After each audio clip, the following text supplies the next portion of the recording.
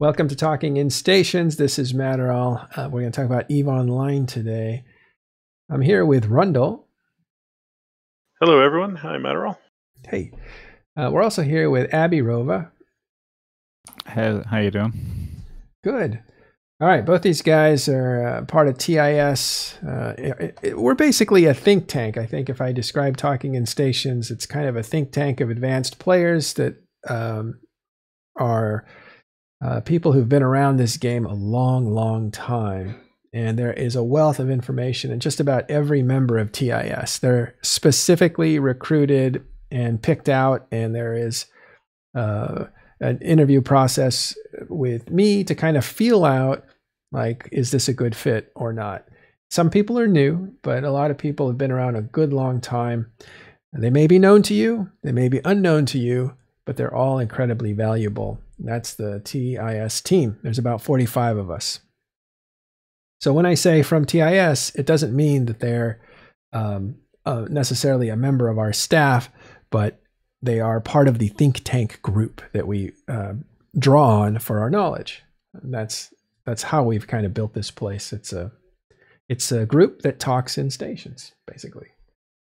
Okay, uh, today we are going to talk a little bit about war, but there's really just a series of Fortizars that are being destroyed. Most of those are in M2. Four of the, say, seven Fortizars from the Imperium that are being destroyed sometime today. A lot of them are probably already destroyed. We're in M2, so that was kind of interesting. There were some skirmishes around 1DQ. There was a gate camp that was attacked in 1DQ by PAPI. Uh, it might have been a test to see kind of what the defense structure is like. Um, well, we can we can discuss some of that. Not not a lot going on though in this war. We're in a we're in a three week grind phase. It looks like where a lot of structures might be under attack. Uh, I think we have a couple Keepstars coming out before the end of the week. Uh, and the Imperium on their side of things, there may be some support for what Dread Bomb that's attacking um, the east, where Legacy was from. There might be uh, some. Well, actually, they lost a group. I think probably to Snuff. Looks like PNF Smash's group. Black is it Black Omega? Um, they may be. They're headed away from Imperium. That's kind of bad news for them. But uh, the Imperium is right now probably resting very comfortably in 1DQ. There's no threat to them. They're way too powerful to take right now. There's no real attempt to do anything to them anyway. But they are seeing systems around them go undefended. Uh, and I think that's part of their plan. So I don't really know what's going on with the Imperium, what their strategy is necessarily, except for maybe wait until the final siege, the final assault. Uh, I think, as far as I'm concerned, I've been hearing from uh, people in the Imperium. What I I generally get a sense that they don't really want to think about the war because their their mind is kind of elsewhere. That's kind of what's going yep. on. Yep. What do you think? Uh, elitist ops, I think, is what you're thinking of. Thank you. With, Black uh, Omega is somebody yep. else. Yeah, yeah. Black uh, Omega and, is Suaz, I think, but elitist ops is uh, Pan, uh, PNF Smash. Yeah, and I think we were talking about this the other night. You know, are mm-hmm. they having fun? And I, you know, there was uh, I drop in on uh, another show sometimes, uh, talking uh, Trash Talk Tuesday, which I enjoy. Great show. Um, after this, so it doesn't collide with uh, with that. But uh, there's a, a, good mix of Imperium and PAPI and others on there, and just, kind of what I was saying. Where you know if you're PvP oriented and you enjoy fights, then you're having fun. And then there's some other people who are like, I'm just tired of talking about the war. I just want to go back and do some of the other things. And so I think it really depends on what it is you enjoy doing. And actually, I think that's across both sides. Uh, mm-hmm. that's not just an Imperium situation. Certainly, I see that even on the PAPI side, which I didn't. We didn't really talk about that the other day. Um, I'm on, you know, from one of those uh, legacy groups that was in the East where Dread Bomb kind of came in, and you know, we're moving and we know where we're going and we're doing all that stuff. But certainly, there has been, you know, you have to lead and manage the the the group to help all the players that make up your group industrialists miners um, you know people will just want to rat and do do whatever um, certainly have had to work at it and that is not unique to um, to just imperium um, mm-hmm. but PAPI both sides have had to do it so Yeah, it's a long war. It's a it's a super long war. Okay, there's a couple of things I want to get to today as well. One is I'll show you how I did on the mining competition that I joined uh, over the last weekend over there with DammFam. Uh, and then it's something really special that we're going to preview because it's not complete. Uh, Abbie, we were Abbie and I were talking earlier, and he showed me some work that he had done, some uh, com- computation on the Silk Road. Which uh, was it myth or is it real? And we'll have a look at what that that might be like. So, cool. Uh, very excited about that.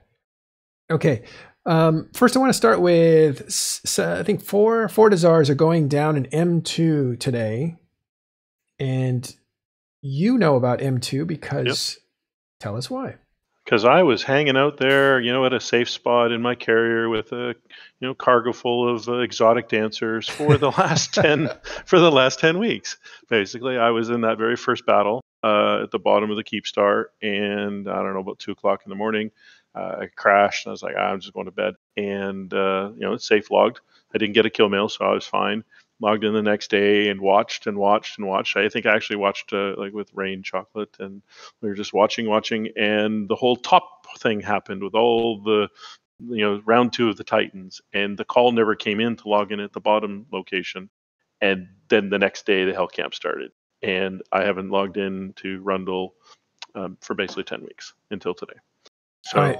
real talk. What did it feel like to be stuck there? Yeah, real talk. It, it honestly really uh, kind of sucked. It was a little bit annoying. Uh, they certainly um, broke my style of play. I was playing a lot more hours, uh, and some of that had to do with the fact that it was, uh, you know, and you know Christmas time and stuff. But uh, you know, I kind of have an ebb and a flow to what I do on what character and what time and PvP. And Rundle is my primary PvP character, and I really love PvP. So I was struggling to log into my alts, which maybe didn't have the right doctrine, and I'm you know trying to bring all that up to speed and handle a bit of a move. And then you know the dread bomb thing kind of happened over in our area, which caused me to kind of have to to you know hustle and and move a few things around on some characters. The dread bomb thing is what? Uh, so they've they are basically attacking the east. So that's the group uh, the group dread bomb. Not that's right, group, group of dead group dead bomb, not the activity and so they're they've been putting some pressure um, on on the east. And uh, I was over in that area with some of my alts, and so I had to kind of move some stuff. And of course, I have some stuff for Rundles there, and I'm like, well, I guess I can't do anything about it because I'm off in space. Uh, I can't do much about it. So there's a little bit of anxiety, a little bit of uh, just you know that gut punch every time. Uh, I can't use Rundle. Uh, I can't use Rundle. And so it was dragging on, but at the same time, in a real talk, there's a little bit of you know, it'll end. And in a way, I was kind of doing my part. And I didn't bring it up. I didn't talk about it ever because why? Like, it's just going to add stress on my side and add stress to the players, and it's just going to sound like spin anyways. So um, I was I was fine. I was, ultimately, at the end of the day, I was fine with it. Really happy today to get back into, uh, you know, into my ship and and get back to the station. You probably hear it in my voice. So, yeah. you know, I think I'm on the upswing now. Um, yeah. So real talk, it, it did impact me. It did impact my play. Um, that's what happens in war. And I was asked to do something in the game. I did. Um, the Imperium responded um, beautifully and kept me out of the game, and I wasn't able to participate. So you know, check mark on that part. Is there something they could have done? Do you think? To I don't know, drive you further out like M2 was demoralizing for you as you just expressed. Like is there anything they could have done to further push you out of the game or push you out of contention? Uh, you know, for Rundle, um, no, because uh, well, you know, if if I really think about it, if they had put pressure on um, T5Z, for example, massive pressure, and really kept me camped, and then uh, basically attacked, you know, that where I have some assets. Um, of course, you spread your assets around, but you know you would think I had some assets there, which of course would be correct. Now, if they had attacked both, and now I'm like, well, I'm I'm out of the game, and my assets are going off to some asset safety, and that might have been like, ah, probably gonna, you know, short of finding my account and deleting the character, you're probably not going to get me out of the game. But um, it certainly would have been like, ah, I got to find a different way to play this game and probably would have forced me over on my alts even further. Yeah, I was trying to think of what they could have done that when they had you trapped.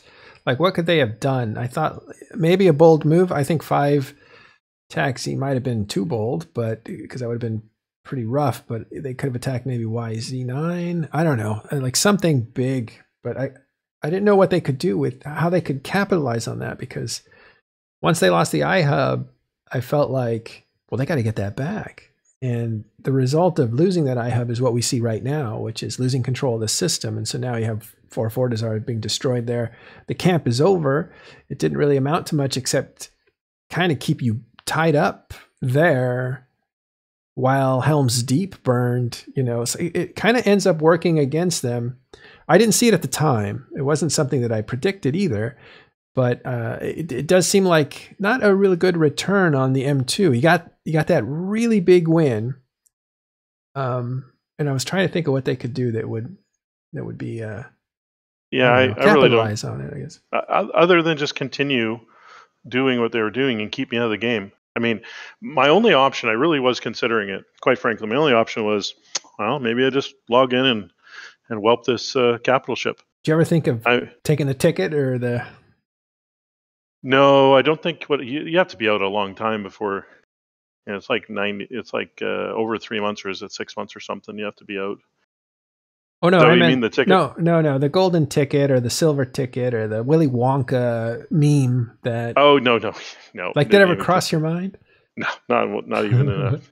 No. Okay, we're back. Uh, looks like uh, one of our tools decided to do a restart there. So sorry. My uh, my story was too much for it to handle. I thought you know your my but, joy, my excitement, overload, excitement overload. Take us back to the top of that one. Yeah. All right. So I think what I was talking about was uh, really the only thing that I seriously was considering on how to end it for me. Uh, say it that way was to literally just uh, you know screw it. I'm going to log in. I'm just going to whelp this capital ship and take the loss. Um, the only thing that really kept me from doing that was nope, not going to give them satisfaction. I will sit in space for as long as I need to sit in space. That really was my only debate. Uh, and so I really think to answer your question of what else could they have done to really crush me was just keep me there. The longer I sat there, the longer it was, you know, I, I really was considering more frequently, uh, maybe I'll just give him the kill. Maybe I'll just give him the kill. Um, but that was really it. But you'd rather give him the kill than the sale because it's a little more honorable, I suppose. Yeah, yeah. Because at least I, you know, I, maybe I could, maybe I could slip up. Maybe I could take someone with me. Maybe I could escalate a fight. Maybe I could force something else. Yeah. Um, and so as you know, in the first early days, was, I wasn't even considering that because that was just straight up suicide. But as things progressed over time, and there's different fleets going on and, and different opportunities, um, you know, maybe there's an opportunity to to do something different or cause to escalate. Like, I don't know. Had I known, for example, that the whole double vendetta thing was going on, for example, like what if I had logged in at that moment and just sent some fighters out and uh, got on a kill mail while I was getting killed at the same time? Like, okay, like as as it progressed, there was more opportunity to maybe do something, but again, I just chose not to do anything and, and not even um, create a, a, situation. I really just wanted to kind of stay on the, yeah, it impacted me personally as a pilot and as a player, but it didn't impact the overall um, war effort at the end of the day. So uh, Lava Kano asks, funny name actually for Iceland right now. It's going through a bunch of earthquakes and a volcano eruption. yeah. Have, it's uh, appropriate. Uh, he asks, who was the only person that took the ticket? Uh, I actually don't know if anybody took the ticket. There was a, a brave guy that uh, appeared in public and was saying, like, I'd like to take the ticket. And there's something about him that was a little bit sketchy. Like, uh, there was uh, something he wasn't allowed in the he wasn't in the capital group for uh, legacy so that's kind of weird so he probably wasn't uh, a trusted enough member to be in that, or I don't know what. But it was something. It wasn't just a brave guy. It was a brave guy with like some sketchiness to him. And then there was a second. I think it was a meme on Reddit saying, "Oh, did that first guy take the ticket? Because I'd be interested in it too." And I'm sure that was not real, or at least it seemed like it was so publicly fake. Uh, so I don't know if anybody took the ticket. Uh, one of the criticisms was that it was it was at first it was really funny and and comical and kind of a neat idea, and it was the you know Willy Wonka. We can you can buy your way out.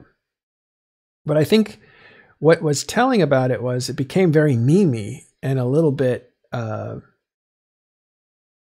I, I don't know. It became a little bit memey, which tells me it wasn't really working as an actual strategy. So you might as well get the comedy out of it. And that's what I think leaders will do is if they'll put an offer out there and it's like, will you will you take my hand or whatever? And then if uh, the partner doesn't take your hand, then you kind of make fun of the occasion that you were just kidding anyway. And so I think that that's kind of what this turned into. So it makes me think just psychologically that it wasn't that nobody was taking that ticket.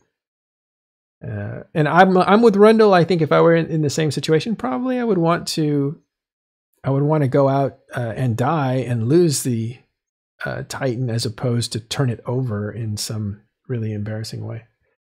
Yeah, well, I, anyway. I wasn't in a Titan, so I'll be clear. I wasn't in a Titan, okay. or or even a Super Cap. So I really wasn't talking about a lot of money, but I still didn't want to. Oh, dude, still didn't want to do it. Yeah, just blow that thing up and get on a vendetta kill. All right. Um, Sorry, can I just ask? Um, yeah, I was about. Go ahead.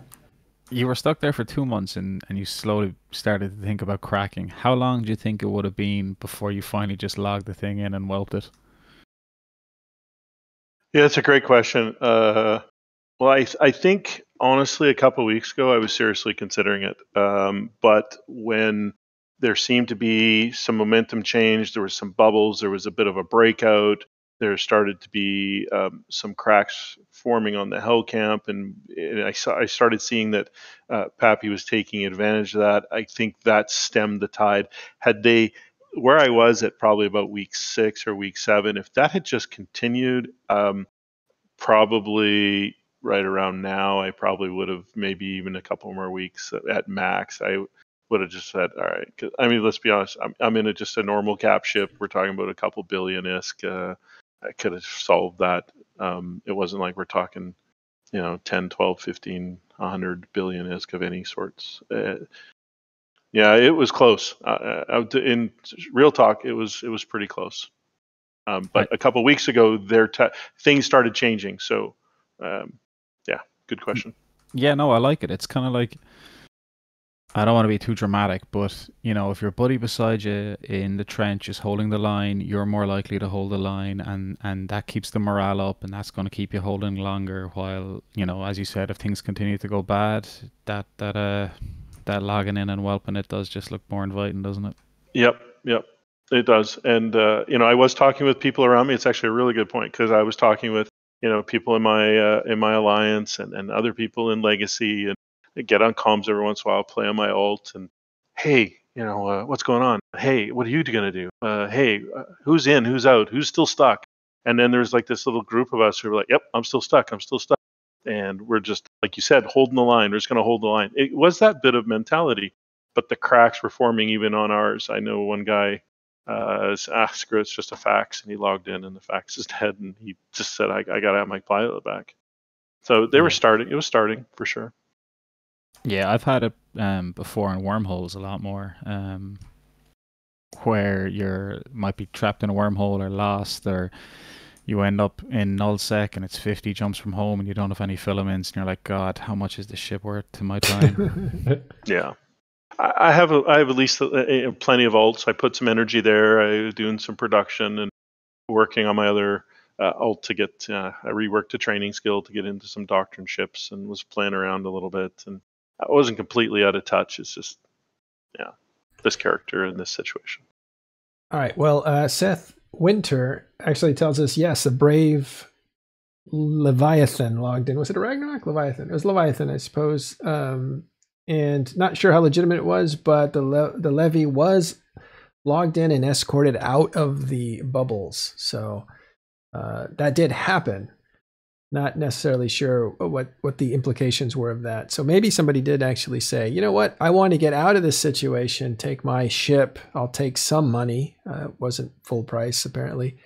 Um, at least that's what they were. They were offering less than full price, and the person got out of the situation that you were in with a less expensive ship. But uh, interesting, all the psychology goes on with how much is enough. How much? How demoralizing was M2 is what I was trying to get at Like, how much was that advantage really uh, for the Imperium, and could they have done anything to take it, you know, a bit further? Excellent question, Abbie. Let's actually um, talk about this. Is big news. It's not quite revealed yet. I mean, it is revealed, but it's not quite thought through. But let's go to Peanut Smash's group. Is uh, what was it? Elitist Ops, right? Yeah, that's right. Elitist Ops. Oh, what are they called? Uh, there it is. Ah. Israd, that's right. Uh, I don't know if this is the right one, but uh, I think it is. Check Alliance history. They were in Oh God. So this one is not complete, I don't think. Let's try that again. That's them, but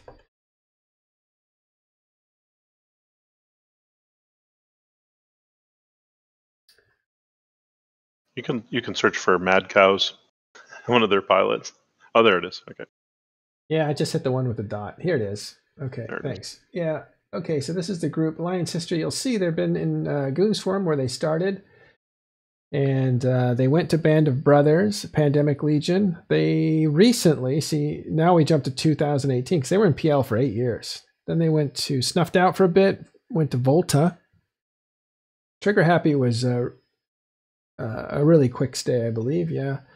Uh, went back to Volta and ended up in Goon Swarm when this war began. Uh, and these guys are actually the guys that own the Goon Swarm name uh, that they recently just lost, which was kind of funny timing because they're in the news for two different things. That being one of them. This second thing being that they're leaving Goon Swarm. As you can see, their uh, date for leaving was the 9th. So they are out. Where they end up is still unknown because uh, it hasn't been recorded yet. Rumors are that they will go to uh, Snuffed Out, back to Snuffed Out again, or maybe to Volta, uh, but not sure where they're going to end up necessarily. That's a, it's kind of a big loss for the Imperium because these guys are very good at what they do. And what they do is assassinate capital ships, super capital ships. When they were a part of Pandemic Legion, uh, they were able to bait out one of uh, Goon Swarm's best FCs, um, Jay Amazingness, and not only bait out his Titan, but bait out his um, super car- his faction super carrier. Uh, Are And- are you saying they're master baiters?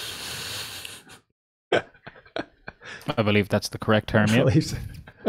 Just checking. Was, that's all right. Um, uh, and so they were able to draw them out and take advantage of the situation with dread bombs and just annihilate them. This is in the beginning. This is one of the the early kills that was a stunning shock to uh, the Imperium when they were in Delve because they had built this. They were building at the time this umbrella of protection for their area, and this was the one attack that kind of sent a shockwave through that.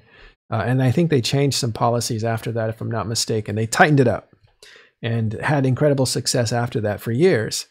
Uh, so that same group here, Elitist Ops, ended up later breaking off from Pandemic Legion to do more whale hunting, as they call it, right? You take on these very big and expensive, slow ships and uh, you bait them and trap them and destroy them. And it takes basically a SWAT team to do that. And that's what these guys are like. So that's what Elitist Ops is. So when they joined, joined Goon Swarm for the beginning of this war, uh, I don't know if there was any kind of political message to it, uh, but as you can see, they'd kicked around in lowsec for a little while uh, before joining uh, Goon So it was a big plus for them. And uh, I think these guys engineered a few kills, a few big kills uh, against PAPI while they were there.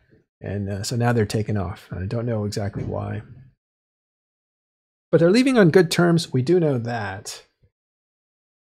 Yeah, I was just going to bring that up. It's definitely on good terms. It's an amicable separation. Yeah, that's Yeah. right. Billy reminds us there was a revenant that was killed on the PAPI side of things recently in T5Z. Right? It's a, it should have been protected, but it was able to uh, to get caught and destroyed, and that was uh, Peanut Smash and his crew of elitist ops.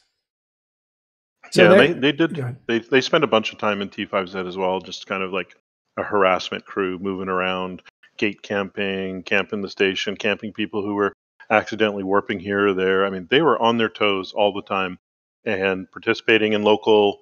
Uh, I'll just leave it at that. Participating in local and you know, just harassing and doing their job, um, which I, I believe really in talking with uh, some of them that that really was their job. That's what they like doing, and they did it really well. They were really good. Okay, so let's take a quick look at zKillboard.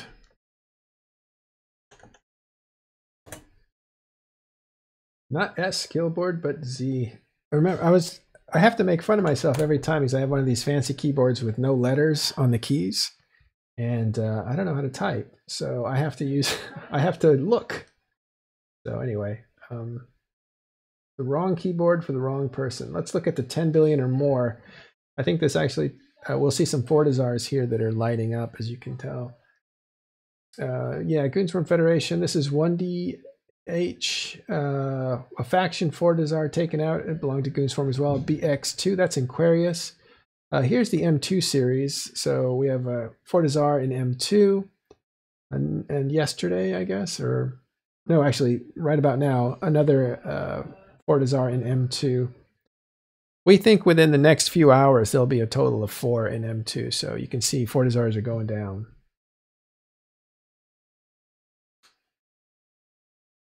Looking Yes, so I-. So if someone who uh, is on the Z Killboard staff is listening, you guys should like toss Matterall a, a free subscription so he doesn't have any ads. Just saying, he uses it all the time. No, I did. I paid for the thing, but it didn't take it away. I think maybe because I paid with a different account or something. Different account. Okay. Yeah, but I I did pay the uh, the Patreon thing. That just didn't work out. Just and Oh, I use the should. in-game ISK. I do the uh, ISK subscription where you pay ISK and uh, you know you kind of give them an ISK donation sort of thing. That's how I do mine. Yeah, well, everybody should support zKillboard. It does a great service uh, for people. Yes, totally. That was the real point. Yeah. zKillboard is a really good place. Yeah, yeah, yeah. All right, uh, let's go to. Do you want to share your screen, Abbie, so we can talk about? Uh, Uh, I actually just sent you a link if in a message. that works. Okay, let me grab it.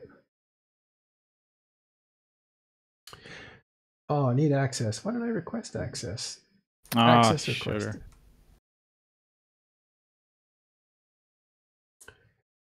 Let's see. seconds. Oh, in the meantime, while you send me that link or approve me for that link, let's talk about DammFam mining competition results by players. Here's your list of winners.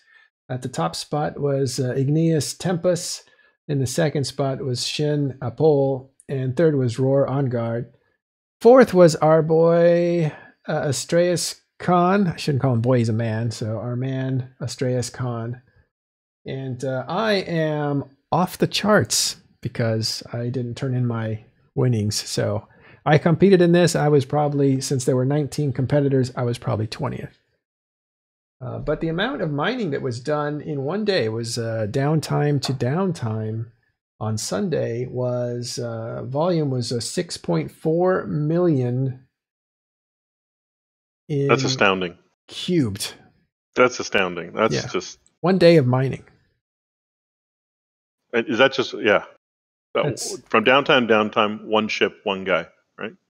I don't know about one ship. I think it might have been. I don't know what the rules were. I was in one ship, but I think they might have been crewed. Like if you had, I don't think they were in. Uh, I am not sure if it was just one person or one effort per I believe it was so. If you had ten alts, you'd only count as one person because it's my ten alt, right? Mhm. They didn't divide it up by alts; they divided it up by actual human players. Gotcha. So that human player did 6.4 million meters cubed of ore. Yeah, so he could have had like ten Covetors and an orca or two. Yeah. But that's his Either way. Capability. either way, I mean, scarcity is is clearly necessary. I think we can all agree. this is in high sec. Yeah, exactly. in high sec. Yeah. And number two there, uh, Shin, he did three million. And uh, it's astounding numbers. Yeah, and Khan, he he couldn't even get in at the beginning of downtime. So he got, you know, he had real life that kept popping up on him. He was very frustrated when he finally got there. So he got in really late and he's still able to pull in a 1.7 million. So these guys are very good miners. Yeah, when I when I go into belts by myself, uh, I'm looking at these numbers and I'm thinking, okay, what does my orca hold? Uh, and I look at these numbers. I'm like 10 ish, and I think about like the the amount that's on line 10, you know, the 400k sort of thing. I think how long that takes me to do that. Um, and that 6.4 is astounding. 6.4 million is astounding. It's crazy. Well, uh, one last look at the DammFam guys. Oh, um, I think this is the DammFam uh, competition by corporations, and we should list this out as well. And so first was Hydra, the Ancient One, and second place, yeah, was uh, Sariano Planetary Goods Distribution, and third was Toad Sprockets. Just uh, just for uh, reference, that 6.5 is a little over 16 full freighters. Oh my god. It's amazing mining capability. Okay, let's look at your chart here. What should we look at first? Market trade. Uh, yeah, scroll over to the right a bit on that uh, on that page. There you go. Um, do you want to give some backstory to this? Uh, yeah. Okay. So I don't know how far to take it, but as you know, for those, I think we have some people actually that are interested in Eve Online but don't know the game that well. So I'm going to speak in very general terms for them just to bring them up to speed. In uh, in Eve Online, we had some uh, ancient uh, relatives of humans uh, known as Triglavians come in to um, our whole map system and start to attack some systems that were protected by empire space, these empires, uh, again, that are the current day humans. And in doing so, they managed to kidnap or take away uh, certain systems into its own region. So they basically uh, consumed systems and took them into like let's just say a third dimension. So they can be reached but not through the normal pathways that they could before. So that whole region left holes basically and broke connections between systems. And one of those major connections was between two major trade hubs that is the Jita trade hub and the Amarian trade hub. Uh, so uh, when that happened it created the need to go uh, through alternative routes to you know deliver goods from one trade hub to the other. And in doing so it created what we call the silk road. And the silk road is let me see if i can actually find uh, the silk road while we talk about it. But the silk road we thought might uh, take people let's see new eden silk road. Let's see if i can find a picture inside this uh, thread as people post it. Yeah, this is going to be the picture. So you can see when the connection was broken, it forced people, let me zoom in so you can see this bit better.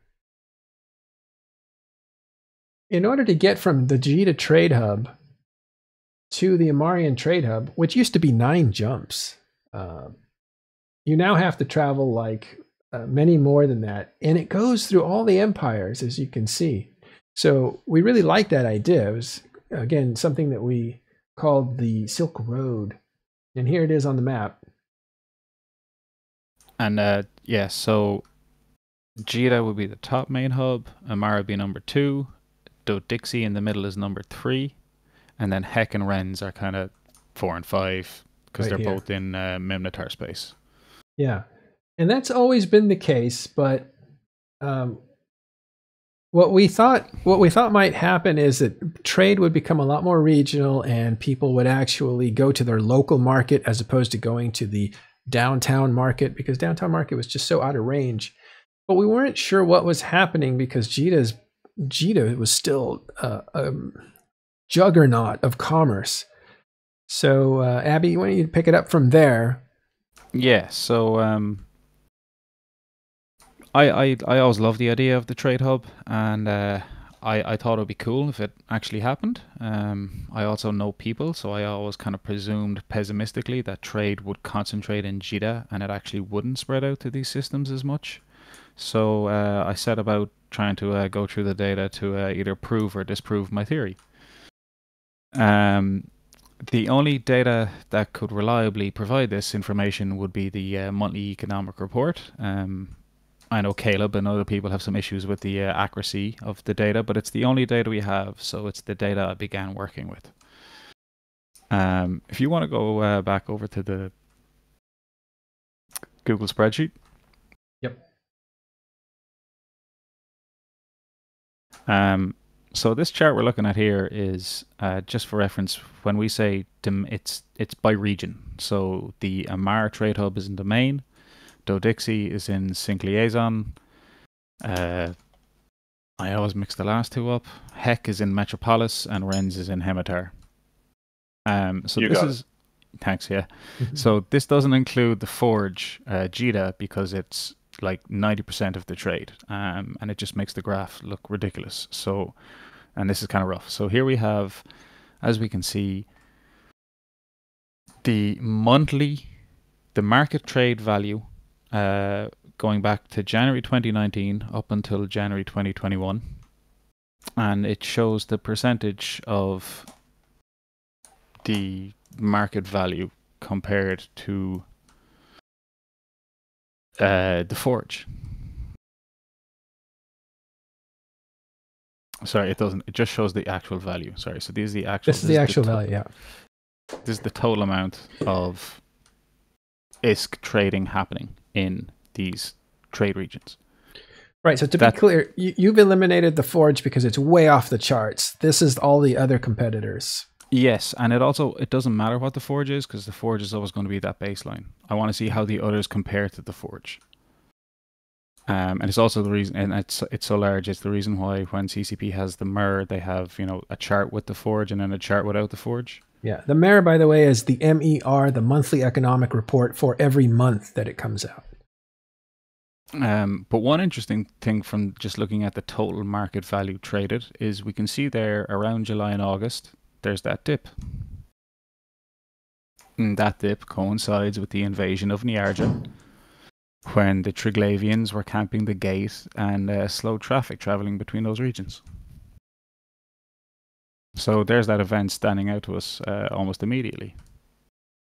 Um, if you scroll down a little bit, so this is this is uh I think this is kind of the moneymaker here.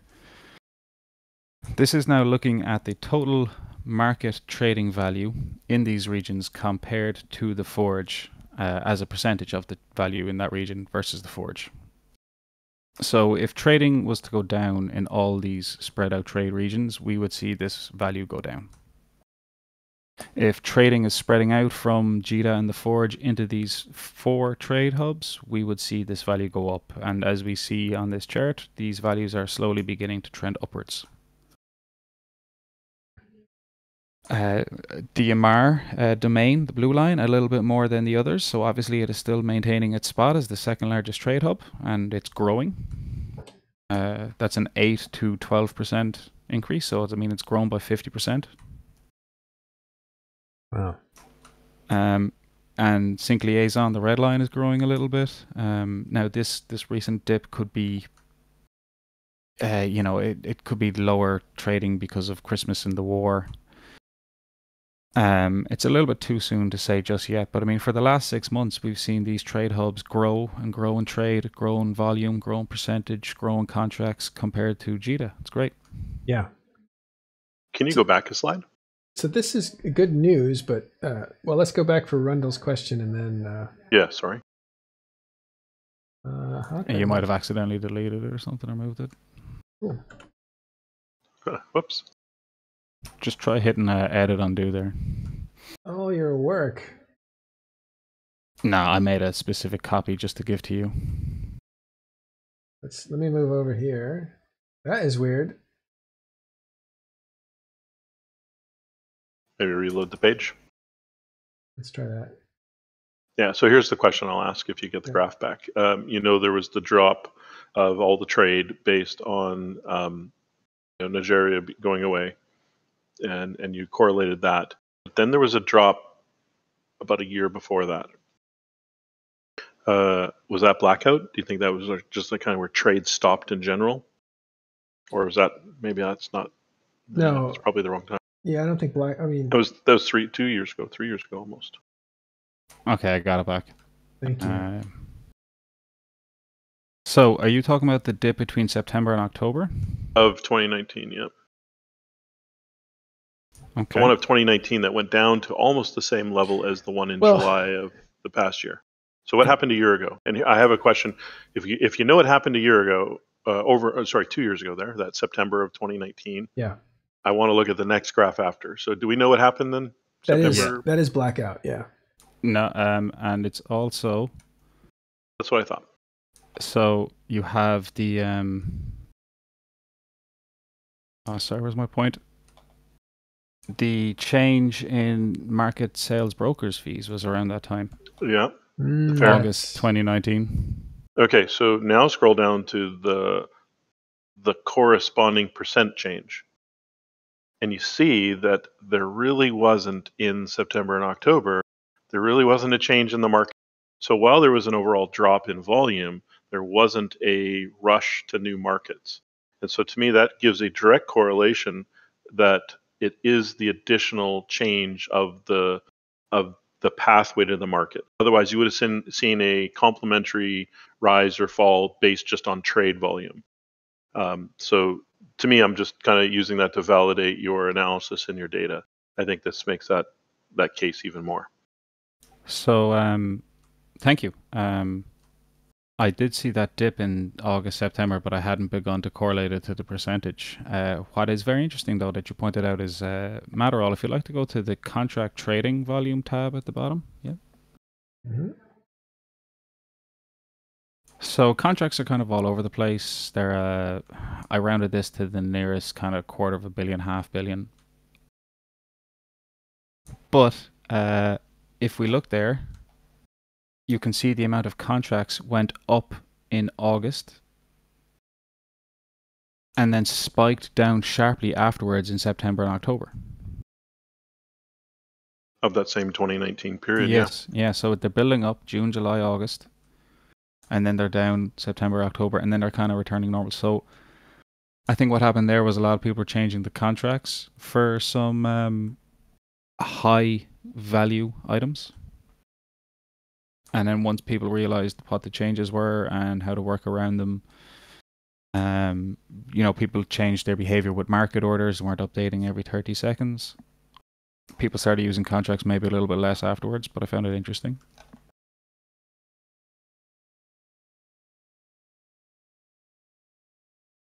Yeah, that is interesting.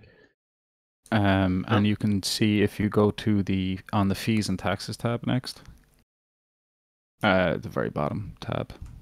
Oh, tab. Okay. So this is uh, brokers fees and transaction tax uh, total take. This is of the the universe. So we can see there. Um, there's that change in July August. That huge uh, jump up. Yeah. That's the change from um, when they changed like the relisting fees. Yeah. So for those that, for those that don't know, do you want to describe what those changes were, or do you want me to describe? them? if if you want to do a good job, I mean, you're more than welcome. You probably know a little bit more than me. I just don't want to put you on the spot. I'm sure you would do fine if you want to give it a, sh- give it a shot. If you want, if not, I'll do it. Yeah, uh, for however long, 15 years, uh, the markets worked one way, and then CCP decided to change how the sales tax and brokers fees will be calculated, um, and they also changed the amount. What is the number rounding? Yeah. The amount Yeah. of decimal points.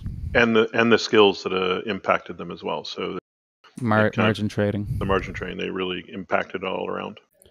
Well, the big change, the, the big change was that you used to be able to change an order. If I put something up for a million ISK, I could say, well, a million ISK plus one cent, and then somebody else, and and the fee actually wouldn't be very much because uh, it was based on a certain calculation of how much did you change that order. If you actually dropped the price, you didn't actually pay much in fees. But if you raise the price, then the market would ask you to pay a certain amount in fees.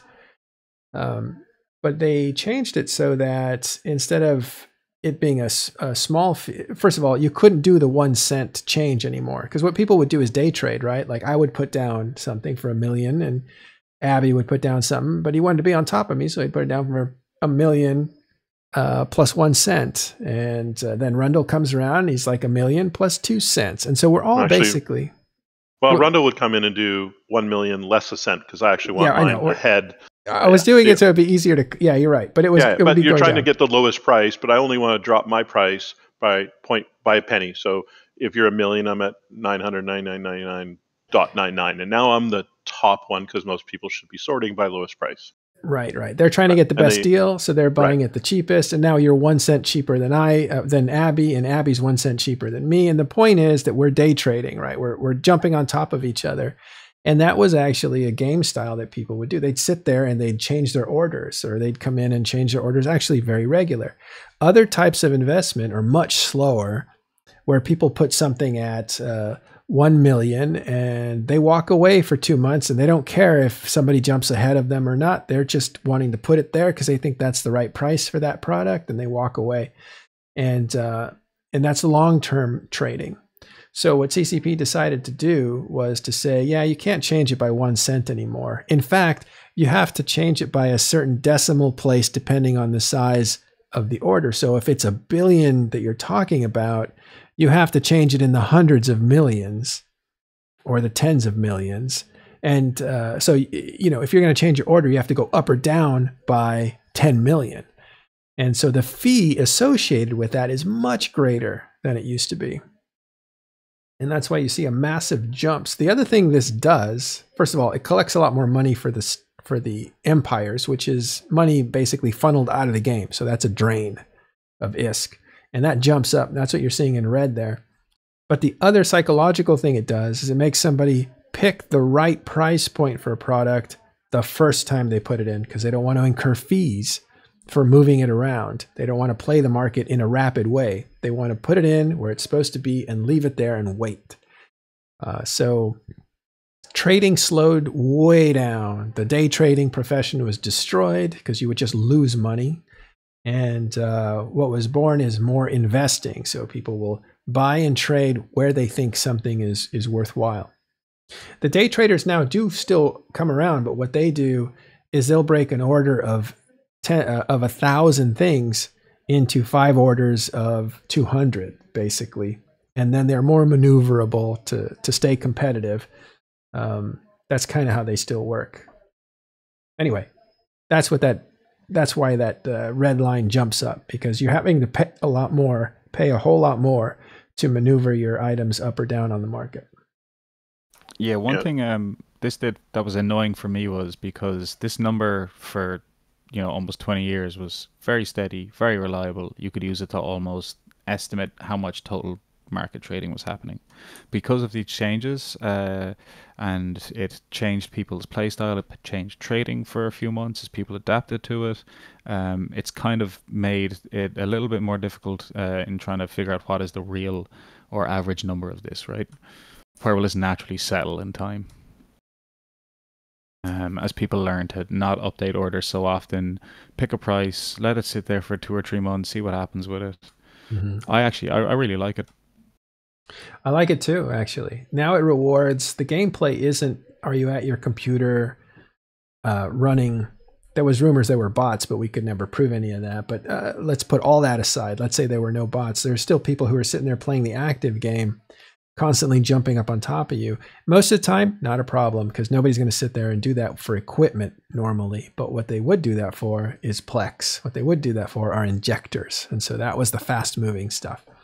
But what I like about it is it really rewards research and it rewards um, basically the, the longer term investors, the people that know what a good price for a thing is, and uh, also people who can predict uh, where something is going to go in the long term. So for those types of people, it's a little more steady, it's a little slower, but more deliberate uh, financial gameplay. Absolutely, and uh, these changes also up the, uh, also uh, led to the um, you know the TTT situation, right? As CCP took more ISK and tax out of the game, Yeah. um, Yeah, they the players I think they taxed NPCs. They raised the taxes for NPCs uh, quite a bit. So if you're buying stuff on Jita, it's actually costing you more. And that was a boon for TTT. That was before this market change, but it was, yeah, it was a boon. I can't remember, Abbie, if there was if if the change in relisting fees helped player markets very much. Do you know? I can't remember.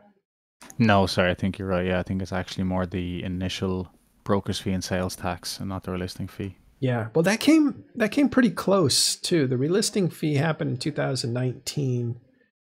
Uh, sorry, the tax hike came in the summer of 2019, just a few months before I think they actually changed the way you did the relisting fee. So, um, yeah, they kind of came at the same time. All right, thanks for the cheer, guys. Um, but I think the thing that's exciting here is the Silk Road, right? Absolutely, yeah. Um, like I, I wanted this to be the case. I was kind of, you know, I, I, first of all, you know, I just want to let my bias show. I was kind of hoping this would be the case, but I also didn't expect it to be. I really thought trade would concentrate in Jita on that market trade. Uh, if you scroll to the bottom left of the tab you're on, The bottom you'll see left, those percentages. Yeah. These ones we were talking about earlier. So this is uh, the market value percentages uh, of trade that's happening in these in these regions. And as we can see, in January 2019, you know, the forge was 85 to 90 percent, right? yeah. It's 87%. Yep, 87 percent, and it's a steady 87, 85, 86. Like that's that's the number it's at, high 80s. Yeah, and it stays there, steady. And as you can see, domain stays steady, seven percent. Same with Sinq Laison. These are all steady numbers. And as we scroll down towards the end,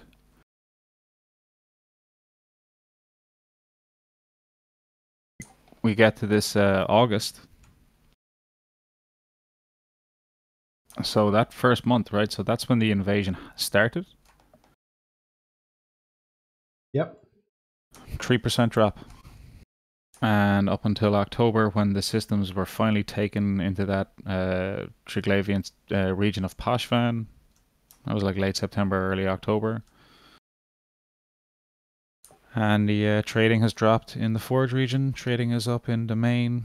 Trading is up as Sinq Laison. Um, it's a bit early to tell yet, but I mean, the last kind of, I'd say, six months have been good indicators Yeah. that this uh, this is definitely happening. People are not five percent for sure. Yeah, I mean, drop. and, and a five percent drop in the Jita is is nothing, right? That's a drop in the bucket, but that's a lot of ISK spread out in those other systems, those other trade hubs. Yeah.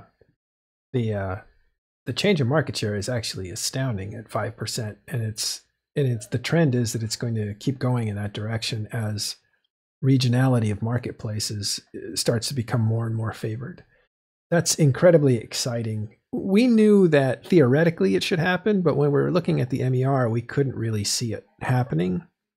Uh, somebody smarter than me, Elise Randolph, was saying, "Yeah, it's happening in Amarr. Uh, it's definitely happening in Amarr, but I couldn't see it. Other people couldn't see it, and uh, until Abbie went and did some number crunching. So it's not Yep, just that- Amarr, but it's also Dodixie and Hek and Rens as well. They're all benefiting from the Silk Road. And yeah, and I think this kind of links into the show the other day with the mining crew. You know, mining has blown up in Minmatar space, right? You guys were covering that.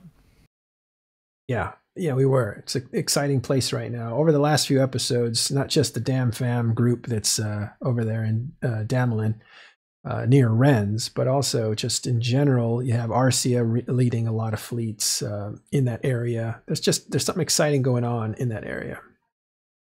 Yeah, so I think it makes sense. People are spreading out. Maybe people are spreading closer to low sec as well. Um, you know, for those good bounties and that good that good ore, and then you're just taking the ore to the local trade hub instead of all the way to Jita because you want to get back out there mining or ratting.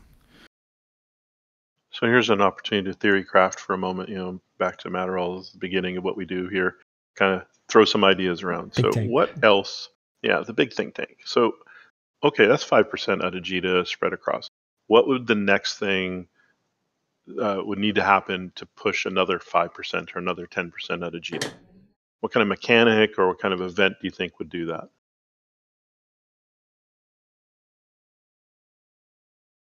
Well, this might be a trend, so it might just naturally happen. All right, might might continue going. Um, Yeah, I'll answer my own question. yeah, please. Uh, yeah, a little more, um, some form of automated transport uh, between market to market.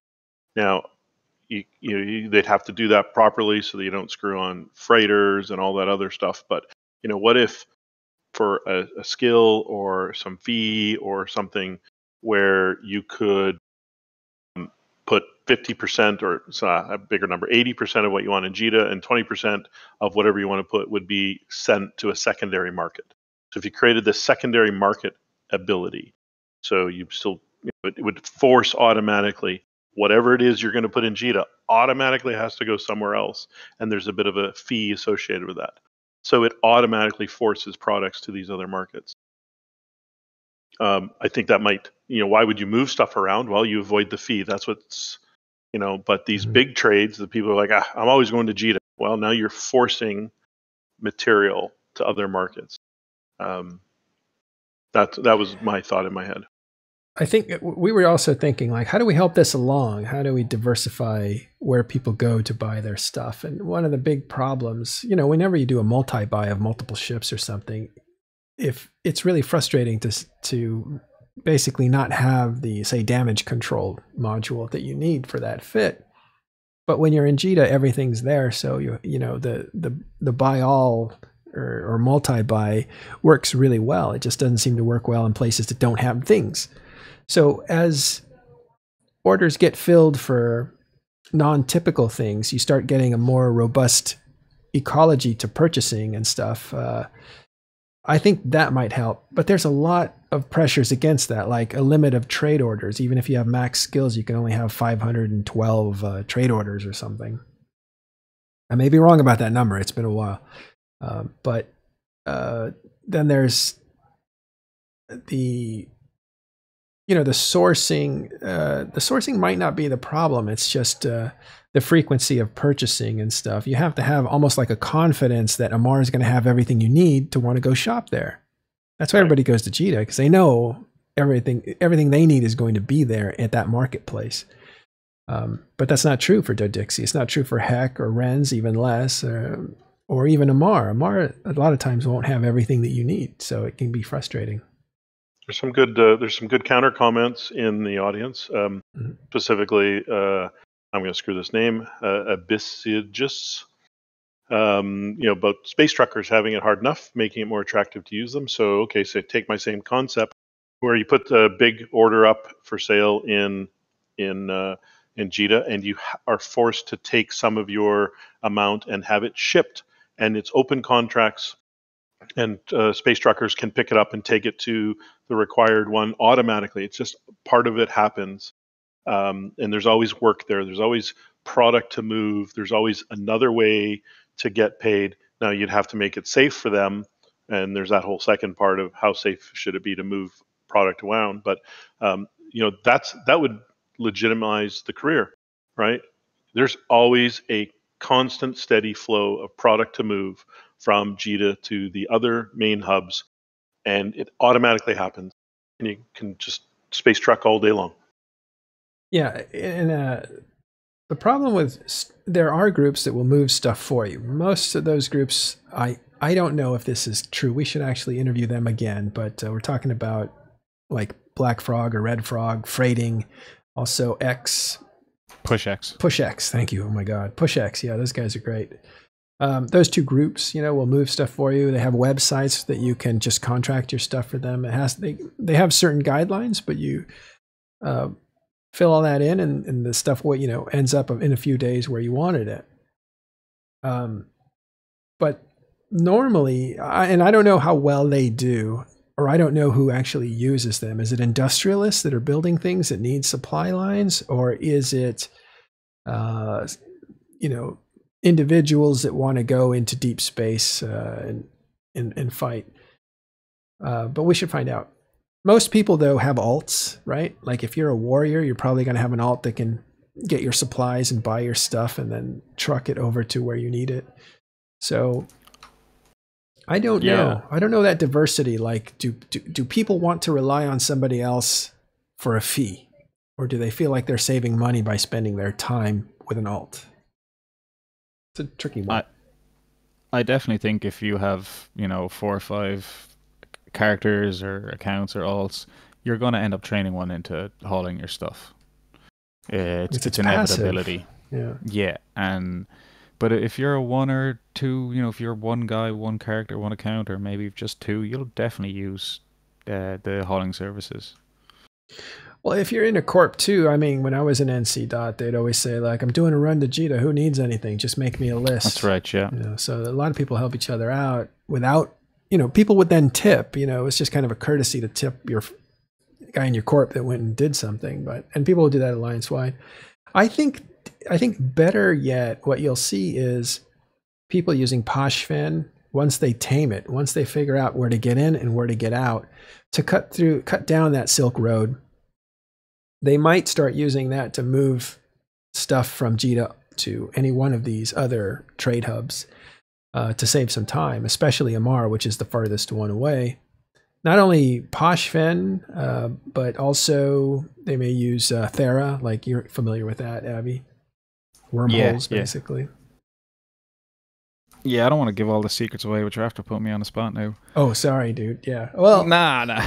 it's a known thing, but you're it right. is. You're right. Um, and also, LowSec yeah. is another area, but. Well, yeah. If anyone is really interested in moving stuff between Jita and Amarr and wants to cut down at 50 jumps, uh, I wouldn't recommend the LowSec systems. They're definitely camped now. But uh, the Thera wormhole system, you use uh, the Eve Scout website. They have an in-game bookmark channel. It's really good for running a blockade runner, deep space transport, uh, full of stuff through those systems.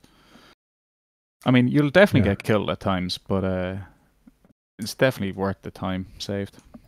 Well, the the, uh, the trade off is uh, you can uh, you can basically accept some amount of danger and setback if you get destroyed, if you save time, or you can spend the time and have a safer route.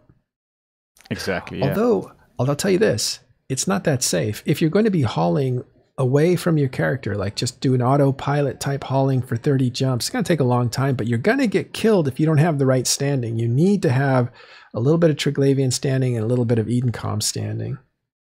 Or actually just Triglavian standing, so that the the uh, NPC Triglavians that might appear on the way uh, to your destination won't trap you and kill you, because that is happening all over the place. It's very dangerous for haulers that don't have a little bit of standing towards Triglavians. Absolutely, and they're uh, they're more in Caldari space, so they're more likely to appear near Jita um, right when you think you're there and safe. Yeah, so uh, the Triglavians will appear within three systems of any Pochven system that was kidnapped. Most of those were in uh, Caldari space, so there's more areas where those rats are kind of floating around Empire space a lot less so in uh, Heimatar and Metropolis, the Minmatar space, because Minmatar defended their area very well. Thank you, Arcia. And so uh, I think that's one of the reasons you're seeing a resurgence of people wanting to mine and move and do industry in uh, Minmatar space. That might be one of the secrets. Yeah, I, I think I absolutely have to agree with you there. I think if I was uh, wanting to mine quietly and nibble on some rocks, I'd get as far away from Triglavians as possible. nibble on some rocks. Uh, yeah. Well, anyway, that's cool, and I'm so appreciative that you're putting some evidence on the uh, what we thought would happen because I wasn't seeing it happen. I was like, well, maybe we are just wrong about this. But the Silk Road is real.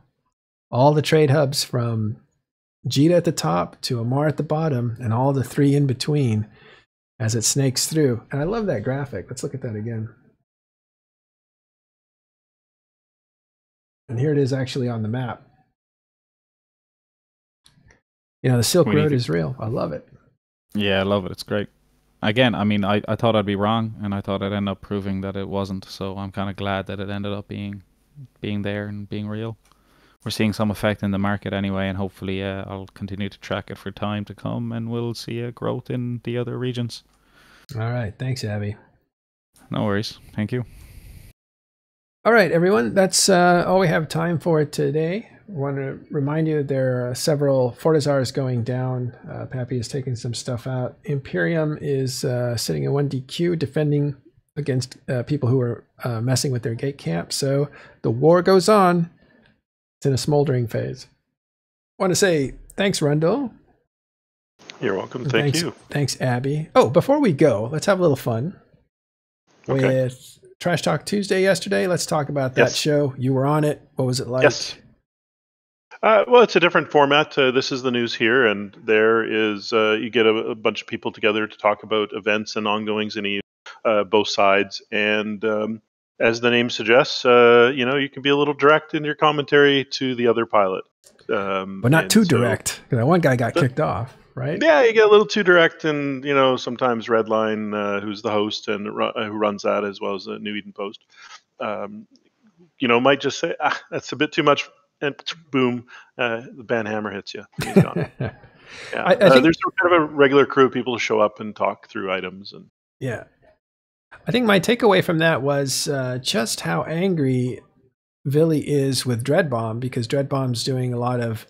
Um, I don't know. There's nothing formal between Dreadbomb and Initiative, but but Dreadbomb really comes from Test, right? The Sado used to be during the Winter Legacy War, used to be on the Legacy side as part of Test, one of their FCs, and did a lot of work for them. Uh, Went off on his own, formed Dreadbomb. And now Dreadbomb is really being a bit of a menace. Let's call him a pest to Legacy. Uh, there may not be a formal agreement with the initiative and Imperium by extension, but it certainly is a dark gray area, not just a neutral gray area, right? yeah, for sure. Uh, you know, it's certainly, you know, in, in a bubble, um, legacy people are fighting Dreadbomb. Uh, simple as that. And for whatever reason, and then there's times where you're like, well, if you're not with us, you're against us, and if you're in the against us crowd, then you're all lumped together. I mean, it's just human nature to think that way.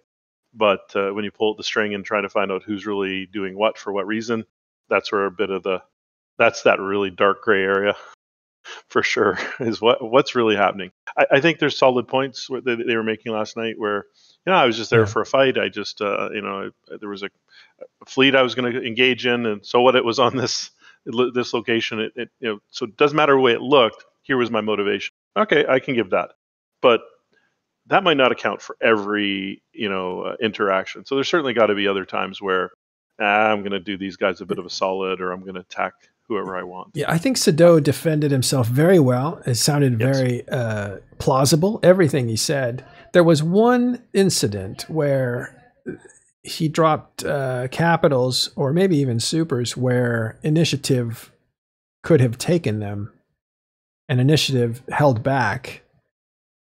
And this is where I think Vily got him saying, You had the confidence to be able to do that. Where does that come from? And I thought that was telling. Right. Like, that's a hard one to explain. That, it, it does. It gets a little gray. A little gray. That's the only time I thought Sado didn't have like a sufficient answer for that, except uh, he asked the, he asked Pando, "Are you going to attack me if I drop these things here?" And Pando's like, "We don't want, we don't care about anybody except PAPI. We're here to kill PAPI." And normally that's like, do I trust that? you know, 'Cause a kill mail uh, is a kill mail, and but I guess it's it was he had enough confidence that Pando wouldn't do that. Does that speak highly of Pando and his credibility? he is a very credible guy? Or is there some kind of understanding that it's not a dangerous situation because we're kind of damaging the same people? So nothing formal, but it is a darker gray area than just a neutral gray area. I thought that was a very interesting part of the show. And there was a lot of uh, anger on both sides, really. Yeah, it escalated for sure there. Yeah. yeah. So, uh, I, you know, to wrap that up, uh, you know, for me, it's an enjoyable, uh, enjoyable place to spend some time on uh, Tuesday nights. I like the banter. Um, I got a little bit of uh, I, I, got a little bit of trash talk myself. I you know mm-hmm. Redline was super nice and put my he how he does his shows. He has just the avatars of the players. And he was super nice. Got my avatar already after all this time. After I'd kind of been boohoo and crying. He was going to do his, and I I unfortunately was here helping out you, and then I showed up a little late, and he had scratched me off and put a big red X through me at one point, and completely booted me off the screen. So I had to kind of take it on the chin, but it was all right. It was oh, I'm sorry. That's your day job, man. This is just your moonlight. yeah, it's all good. It's all good. That's wow. all right. I we, deserved it, but we like talking to you, so we like having you here. I appreciate it. Thank you. All right. Well, Listen, thanks. Yeah, uh, Outcast Army says now he's off to go watch uh, the Trash Talk Tuesday. Uh, it gets rough, uh, so if you know if it's not your thing, be careful. Uh, but uh, enjoy it, and thank you guys all for coming around and watching our show today. We'll be back tomorrow with more talking in stations. until then, take care. We'll try to find you a raid. Thank you.